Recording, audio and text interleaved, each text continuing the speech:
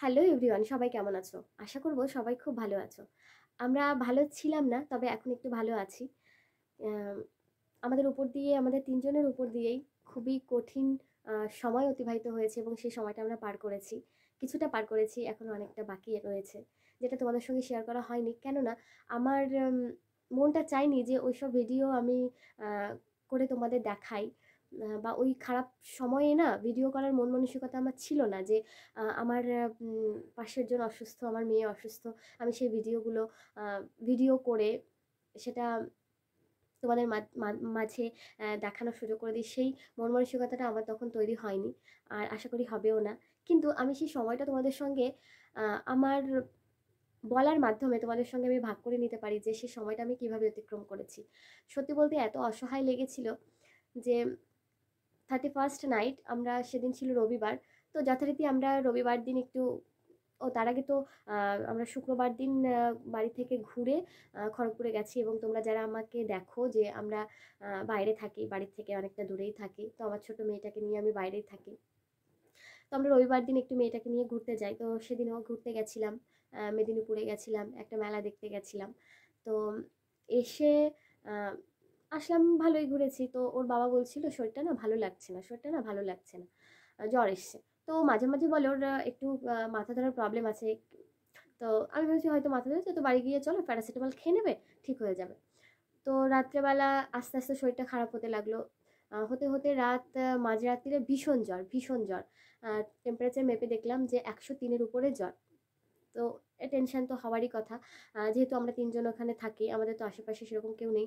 হ্যাঁ ওর অফিস কলিগরা আছে, অনেকটা হেল্পফুল তো সেটা যাই হোক প্যারাসিটামল খেলো, তাতেও জ্বরটা পড়ল না। এবং শুধু জ্বর নয়, কাঁপুনি দিয়ে জ্বর। মানে হাঁচি কাশি কিচ্ছু নেই, কাঁপুনি দিয়ে জ্বর। মানে এত কাঁপুনি যে দুটো কম্বল, তারপর সেরকম তো আমাদের কাছে জিনিসপত্র ছিল না, দুটো কম্বল, তারপর যা যা মোটামুটি ছিল, কাঁথা কম্বল যা যা ছিল সব কিছু দিয়ে চাপা দেওয়া হচ্ছে কিছুতেই মানে কাঁপুনিটা কমছে না। যাই হোক তারপর আস্তে আস্তে জ্বরটা পড়ে। অনেকটা সময় নিয়ে, কারণ প্যারাসিটামলটা কাজ হয়নি। যে সাড়ে ছশোটা খাওয়া হয়েছিল, সেটা কাজ হয়নি। তো এই নিয়ে পরের দিন আবার সকালবেলা জ্বর হলো। এবার স্বাভাবিক একটা চিন্তার বিষয়। তো পরের দিনে ওইখানকারই মানে ওর অফিস কলিগদের পরামর্শে আর কি একজন ডাক্তারকে দেখানো হলো। তো উনি ওষুধ দিলেন ব্লাড টেস্ট দিলেন না, শুধু ওষুধটা দিলেন। তো বলল বাড়ি গিয়ে খাও। এবার খেলো তাতেও না পরের দিনে সেই একইভাবে কাঁপুনি দিয়ে জ্বর সর্দি কাশি কিছুই নেই। শুরুতেও ছিল না এবং তারপরেও আর হয়নি। তিন দিন হয়ে গেল, কিন্তু ওষুধ খাচ্ছে, জ্বরটা আর পড়ছে না। তো তারপরে কি হলো, আমাদের যে রেলের হসপিটাল ওখানে খড়গপুর, তো ওর অফিসের যে একটা দাদা ছিলেন উনি বললেন যে, চলো তাহলে খড়গ মানে হসপিটালে নিয়ে যাওয়া যাক। তো হসপিটালে নেওয়া হলো। ওখানে যিনি দেখলেন খুবই ভালো ভদ্রলোক খুব ভালোভাবে দেখলেন এবং অনেক কিছুই দিলেন। ওকে অনেকভাবে আমি আমি গিয়েছিলাম না, আমি বাচ্চা নিয়ে আমি কী করে যাব? হ্যাঁ তার, আমার ভাইকে ডেকে নিয়েছিলাম যে, অবস্থা তো ভালো নয়, জ্বরটা তো পড়ছে না আর ক্রমশ দুর্বল হয়ে পড়ছে, খাচ্ছে না কিছু। তারপর হসপিটালে গিয়ে অনেক ওষুধ দিল, নাকের ড্রপ দিল, কানের ড্রপ দিল, তারপর গার্গিল করার ওষুধ দিল সব মিলিয়ে অনেক ওষুধ দিল। আশা করলাম যে হয়তো ঠিক হয়ে যাবে। তো পরের দিন না ওইসব খেয়ে জ্বর আর আসেনি, পরের দিনটা শুধু আসেনি। আবার সেই রাতের থেকে সেম কাঁপুনি দিয়ে জ্বর।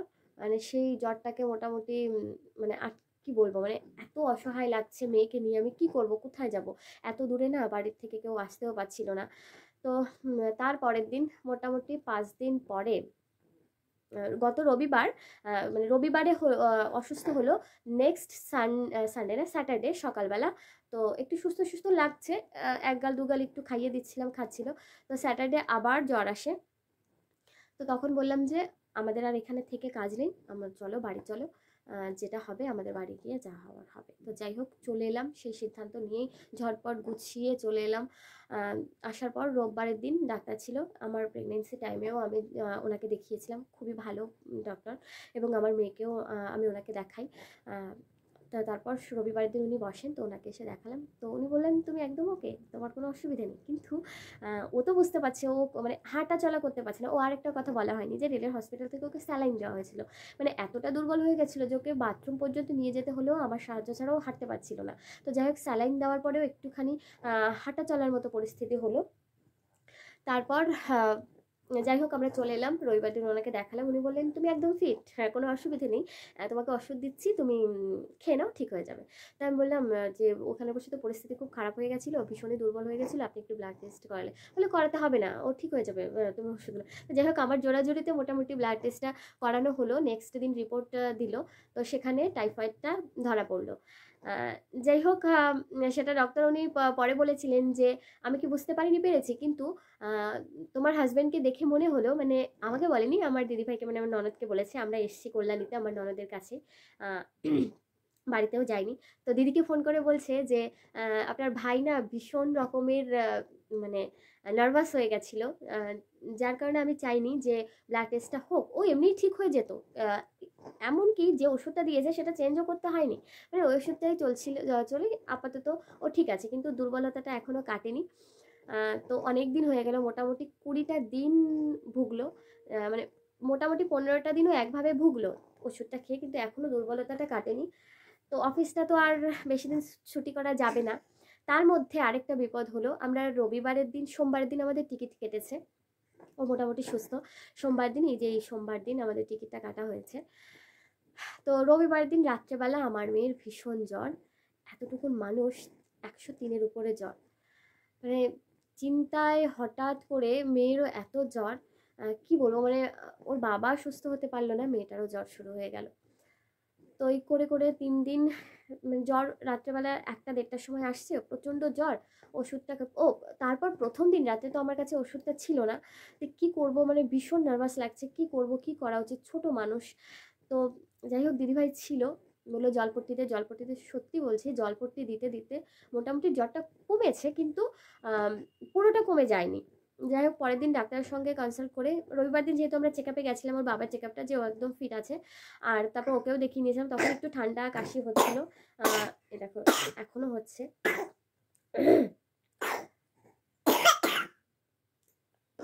যাই হোক দেখিয়ে নিয়ে এসেছিলাম।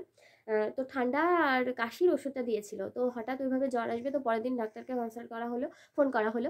তো উনি জ্বরের ওষুধটা দিয়ে দিলেন এবং সঙ্গে অ্যান্টিবায়োটিকটা দিয়ে দিলেন। তো তারপরও খাচ্ছিল, খেতে খেতেও তিন দিন কমেনি। তো আজকে চতুর্থ দিনের দিন আমার মেয়ে মোটামুটি সুস্থ, কিন্তু ঠান্ডাটা রয়েছে, কাশিটাও রয়েছে।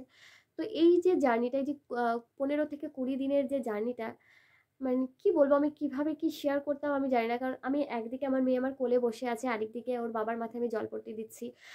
ও কাঁদছে, ওর বাবা কাঁপুনি দিয়ে জ্বর এসছে, ওর বাবাকে খাইয়ে দিচ্ছে, ও ড্যাব ড্যাব করে তাকিয়ে দেখছে, যতক্ষণ আমার ভাই এসেছে। তো এই যে মানে আমার শুধু আমার শুধু চোখ দিয়ে জলটা পড়ছিল না মানে আমার ভেতরটা এতটা মানে কেঁদে উঠছিল যে আমি এই পরিস্থিতিতে আমি কি করব? আমি কীভাবে সামাল দেবো? বা আমার যদি বাড়িতে যেতেও হয়, ওর বাবার যে পরিস্থিতি, আমি মেয়েকে সামলাবো কি? ওর বাবাকে সামলিয়ে সামলিয়ে বাড়িতে নিয়ে যাব। কি করব? আমি তো বুঝে উঠতে পারছি না। মানে তো ঠাকুর ভরসা যে এখন একটা স্টেবল পর্যায়ে এসছি আমার মেয়ে অনেকটা সুস্থ, ওর বাবাও কিছুটা সুস্থ। কিছুটা না অনেকটা সুস্থ গেছে কিন্তু ভীষণ দুর্বল। কিন্তু একসঙ্গে এসছি ওর বাবাকে একা একাই চলে যেতে হলো। ওখানে কারণ অফিস আর ছুটি দেওয়া যাচ্ছে না। যেহেতু অনেকটা সুস্থ হয়ে গেছে। তো ও অফিস অ্যাটেন্ড করেছে। আমার মেয়ের জন্য এতটা জার্নি করা সম্ভব ছিল না। তাই থেকে গেলাম। ও একটু সুস্থ হলে আমরা আবার ব্যাক করব ওখানে। তা আবার সেই জীবন শুরু হবে। যাই হোক কিন্তু এই সব কিছুর মাঝে যতই কষ্ট হোক, ও হাসুক, খেলুক, খাক একটু কান্নাকাটি করুক, কিন্তু সুস্থ থেকে যদি করে বা ওর বাবা যদি সুস্থ থাকে, তাহলে তো বোধহয় আমাদের কিছু লাগে না, বলো? পরিবারের লোকজন যদি সুস্থ থাকে, ভালো থাকে, এর থেকে তো আর বেশি কিছু চাওয়ার নেই। তো ঠাকুরের কাছে এটুকুই প্রার্থনা যে, আমার আশেপাশের যারা আছে বা আমার পরিবারের লোকজন যেন সুস্থ থাকে, আমার মেয়েটা ভালো থাকে, আমার, ওর বাবা ভালো থাকে, আমরা ভালো থাকি, সবাই এই প্রার্থনাই করব ঠাকুরের কাছে ইভেন তোমাদের কাছেও। তো এই ভিডিওগুলো করার মতো পরিস্থিতি মোটামুটি আমার ছিলও না আর আমার মন মানসিকতায় আসেও নি যে এগুলো আমি ভিডিও করে সবাইকে দেখাই। যাই হোক এখন একটু ভালো আছে, এজন্য সামনে এলাম। আর এমনিতে তো আমি রেগুলার মেনটেন করতে পারি না কেননা এই একা মেয়ে সামলে না মানে আমার ঠিক হয়ে ওঠে না। যাই হোক, তবুও মাঝে মাঝে দেওয়ার চেষ্টা করি। কারণ তোমরা কতটা কি দেখবে সেটা সেটা যেমন তেমন এটা না আমার স্মৃতি হয়ে থাকবে।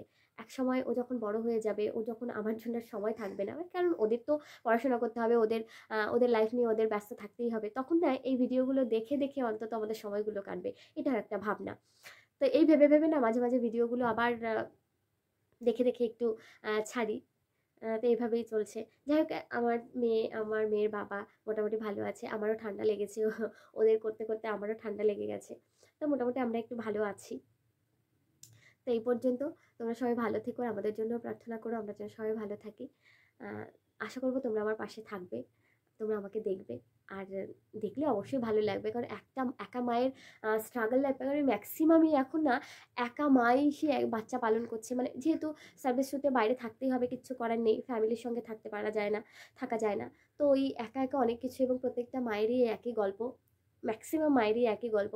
আশা করি এই জন্য অন্য মায়ের গল্পগুলো দেখলে না নিজের সঙ্গে যারা এই সময়টা পার করে গেছে, তো তারা যদি দেখে না এগুলো তাদের সঙ্গে, তাদের জীবনের সঙ্গে রিলেট করতে পারে। তো এগুলো দেখেও অনেকটা ভালো লাগে। তো অনেক কথা বলে ফেললাম। যাই হোক, ভালো থেকো তোমরা। আমরাও ভালো থাকি। এই প্রার্থনায় আজকে এই পর্যন্ত।